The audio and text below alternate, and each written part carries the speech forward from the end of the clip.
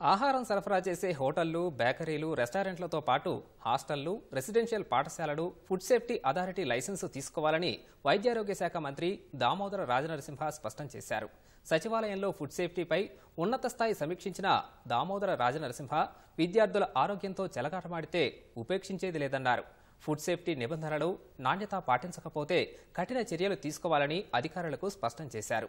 ప్రతిరోజు సుమారు రెండు వందల శాంపిల్స్ సేకరించి మొబైల్ ఫుడ్ ల్యాబ్స్లో పరీక్షలు నిర్వహించాలని ఆదేశించారు. జీహెచ్ఎంసీ పరిధిలో ఆహార భద్రత అధికారుల పనితీరుపై మంత్రి దామోదర అసంతృప్తి వ్యక్తం చేశారు.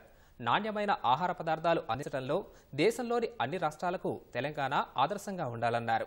అధికారులు నిరంతరం పర్యవేక్షిస్తూ ఆకస్మిక తనిఖీలు చేయడంతో పాటు అవగాహన సదస్సులు నిర్వహించాలని దామోదర రాజనరసింహ సూచించారు.